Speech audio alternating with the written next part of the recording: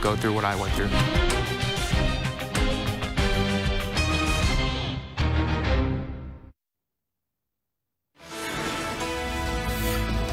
Take a good look at this man's face. He's the reason behind the newest warning about children and their cell phones. Police say in this case a 13-year-old was assaulted and they believe it all started with his app called Kik.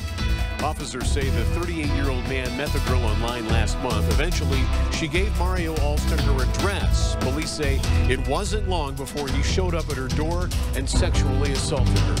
A Henderson psychologist accused of murdering his wife is expected to be released from jail in a matter of hours after posting bail. We're also getting a glimpse tonight into the personality of the accused killer.